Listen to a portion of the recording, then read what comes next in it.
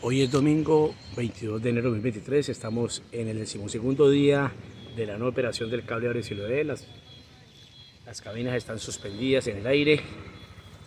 Hoy domingo 22 de enero de 2023, en el decimosegundo día sin la operación del cable de Siloé, e, que durará por lo menos un mes, un mes y medio más, fuera de servicio. Ahí están las cabinas.